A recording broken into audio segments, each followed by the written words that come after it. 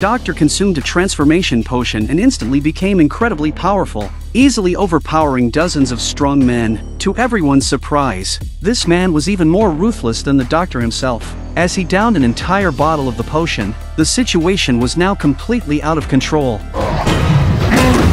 The story takes place before World War I. In the dead of night, a tank rampaged through the streets of England, faced with an unprecedented steel behemoth. The police were helpless and could only watch. The tank smashed through the doors of a bank and blasted open the vault with a cannon. Soldiers seized a large amount of wealth and blueprints for Venice's architecture. A few days later, the same men destroyed a German Zeppelin factory and captured a number of leading scientists. These series of attacks fueled suspicion among the unaware European nations. A world war was imminent. To crush this evil force, the British government dispatched an ambassador to Africa. In a tavern, they found the legendary adventurer Alan. The Queen of England wants Alan to lead a team of men with extraordinary powers to stop an impending world war. Clearly, Someone didn't want Alan to intervene. A gang of thugs stormed the bar and gunned down Alan's friends. These individuals were peculiar, clad in bulletproof armor and wielding advanced weaponry. But, against the battle-hardened Alan, they had no advantage whatsoever. The last thug attempted to flee. Alan calmly put on his glasses and shot the thug down. As the crowd attempted to extract information from the dying thug, he used poison to end his own life. Simultaneously, the explosives left by the thugs detonated in the tavern. It was evident that Alan had drawn the attention of this malevolent force. It was time to take action in this chaotic world. So Alan left the heat of Africa and returned to rainy England. The leader of the operation, Mr. M, introduced Alan to the team members of the League of Extraordinary Gentlemen, Captain Nemo from 20,000 Leagues Under the Sea, a master of science far beyond his era, Rodney, known as the Invisible Man and the King of Thieves, whose true form was revealed when he smeared sunblock on his face. The renowned female vampire Mina Harker, in a bid to thwart the Shadows plot to instigate a global war, Leaders of European nations are set to hold a secret summit in Venice four days from now. Mr. M seeks to have Alan lead the League of Extraordinary Gentlemen team to prevent the Shadow's disruption of the meeting. The problem is, getting to Venice in four days seems unlikely, but that's no problem for the high-tech Captain Nemo. Soon after, he proudly showcased his state-of-the-art luxury vehicle. The group quickly arrived at an ancient mansion in the futuristic car. The man who opened the door was none other than the immortal Dorian. Careful Alan notices that a portrait is missing from the wall which is the secret of the immortals. Initially disinterested in saving the world, Dorian's stance changed immediately upon seeing Mina Harker among the team members. It turns out they had known each other for a long time and had a past that cannot be described. While they were discussing how to deal with the Phantom, a group of night people with advanced equipment surrounded them. The man in the mask was the Phantom, who invited the League of Extraordinary Gentlemen to join him and start a world war. This way he can sell weapons to countries and get rich from the war. At that moment, a young American fired the first shot, initiating a chaotic battle. The League of Extraordinary Gentlemen displayed their exceptional skills, even in the face of the Shadow's advanced weaponry. Surprisingly, Captain Nemo not only possessed advanced technology but also formidable combat prowess. Dorian can take bullets with his undead body.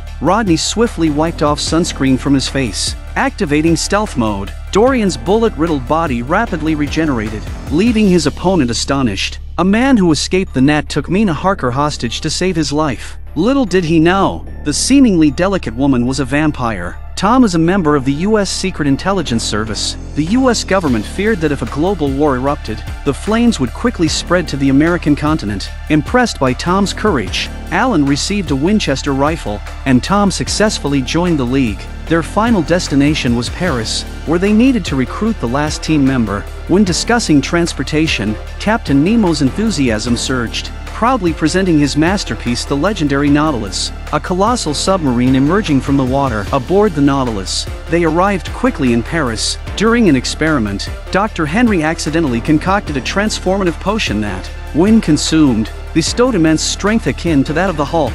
At the same time, the potion can also make people lose their minds. Under relentless pursuit by Alan and Tom, Dr. Henry fell into a trap and was captured onto the Nautilus. Expelled from Britain due to heinous crimes, Dr. Henry's desire to return home prompted him to join the League.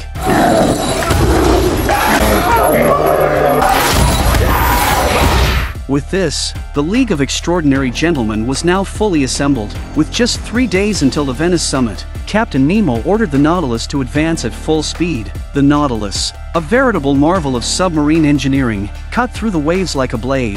However, the League of Extraordinary Gentlemen was not as harmonious as it appeared. While Alan instructs Tom in shooting practice, Captain Nemo discovers that the Nautilus has been tampered with and is off course, and a bottle of Dr. Henry's potion was stolen at some point. Rodney seems to be the only one who could have done it so quietly. Although the Nautilus successfully reached Venice as planned, the Phantom had rigged the city's underwater structures with explosives. Captain Nemo was about to send a diver down to defuse the explosives. Just then, there's a violent explosion, and the buildings of Venice collapse like dominoes.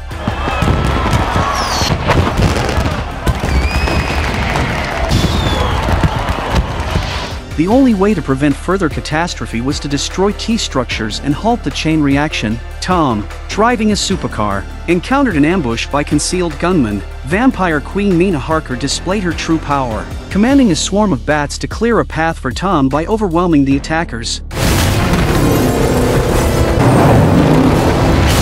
Tom reached the target and launched a signal flare into the sky, guided by the coordinates. A rocket shot up from the Nautilus, ultimately putting an end to the disaster. Alan, in the midst of his fight with the Phantom, inadvertently tore off his mask, only to discover that he was none other than Mr. M. Simultaneously, the true traitor was exposed. Dorian killed Captain Nemo's crewman, seizing an oddly shaped lifeboat to escape Venice. It turned out that Mr. M orchestrated the entire ordeal for a sinister purpose, to acquire superhuman abilities and technology. Mr. M had Dorian covertly steal Captain Nemo's tech blueprints, Dr. Henry's potion, Mina Harker's blood, and Rodney's skin samples. His plan was to create a technologically enhanced army of mutants to unleash war and conquer the world. The calamity was far from over. However, Mr. M's recording triggered explosives hidden aboard the Nautilus, flooding the vessel. In order to save everyone's lives, Dr. Henry drank a potion and opened the drain valve at the last moment. The Nautilus resurfaced, averting catastrophe. You're wondering where Rodney's been. It turns out he had stealthily tracked Phantom to a secret base in the frigid northern wastelands.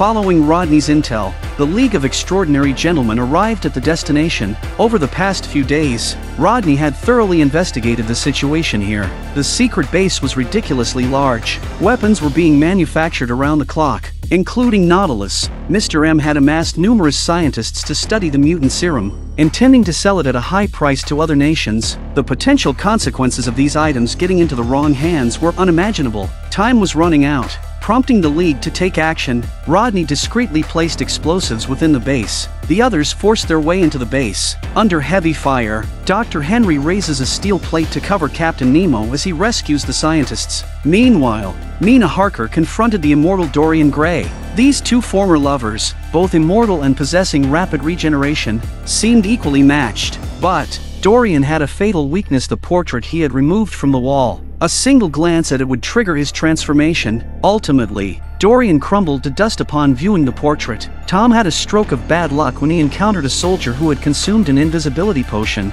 An armored flamethrower-bearing soldier began an indiscriminate blaze. Rodney selflessly rushed in to rescue Tom, ending up severely burned himself. Dr. Henry, displaying exceptional valor, proved unstoppable in his assault. In a fit of rage, the other party drank an entire bottle of potion, and his body instantly turned into a huge monster. Dr. Henry experienced true fear for the first time as he found himself completely defenseless against the monster's relentless attacks. Captain Nemo's attempt to provide support proved futile as he was sent flying several meters away with a single punch. Direct confrontation proved futile. To make matters worse, Dr. Henry's serum wore off, leaving them with no option but to flee. In their direst moment, Rodney's preset explosives detonated, the structure crumbled, and massive debris rained down, crushing the monster. After a fierce struggle, Alan managed to subdue Mr. M. Just then, Tom was taken hostage by a soldier who had consumed an invisibility potion. Alan turned around and shot Tom to save him, but he was stabbed by Mr. M.